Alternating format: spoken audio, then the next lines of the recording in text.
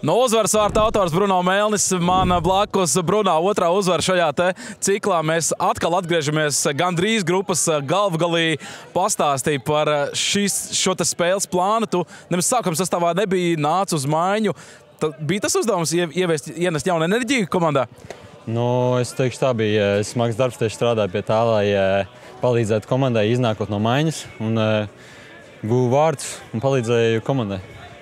Jūs tur labajā malā abi nācāt uz maiņu reķis, un to arī tā vārta gūšanas epizode. Nu, tāda kārtīga futbola skolas meta sadarbība. Jūs taču no Mazonas tur kopā spēlējat. Jā, mums ir laba sadarbība tieši ar Kristofru Reitu. Un, es teikšu, tā paveicās, ka mūs izlaida tieši ar viņu kopā, jo mums ir laba sadarbība.